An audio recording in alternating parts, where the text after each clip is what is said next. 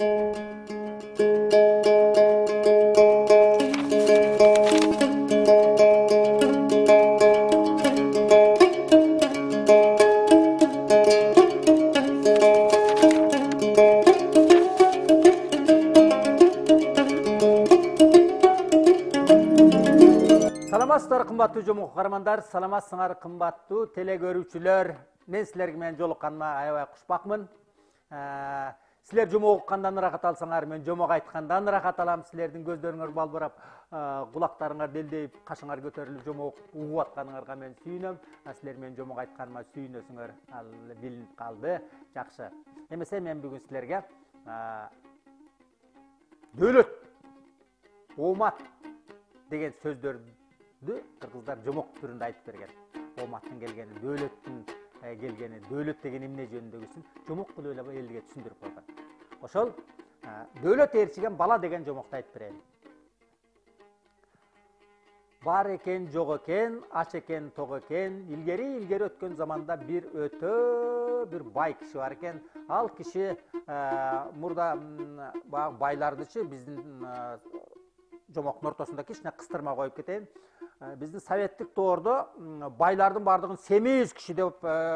сүрөттөчү анан акылы жок кишилерди бай кылып койгон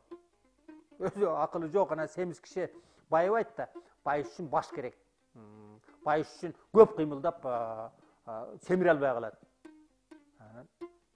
ошондой бир акылман киши экен эмгекчил киши экен өтө бай киши экен анан ошого жараша бул кишинин бир кандайдыр бир касиети бар экен кимде кандай касиет бар экенин ал киши мынтип карап туруп билип коет экен мисалы үчүн мында бир ооматтуу бала экен жылдыздуу бала экен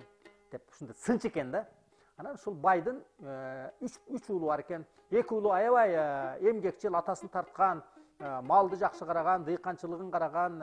элге жакшы мамиле кылышкан ушундай экен дагы бир баласы бар экен ал дагы жакшы бала экен бирок ал оорукчан экен бул баягындай көпчүлүк элге да аралашпайт экен арык экен анан көп аны эл тоготуп деле баягы баланы мындай мамиле кылышпайт экен анан кийин бай балдарын үйлөп жайлай баштайт экен бирөөсүн чоң уулун үйлөп бияка жөнөтөт экен бир жайлоо бөлүп берип дагы бирөөсүнө үй тигип ал жака жайытын бөлүп берет экен эң кенже баласы бар экен анан баягы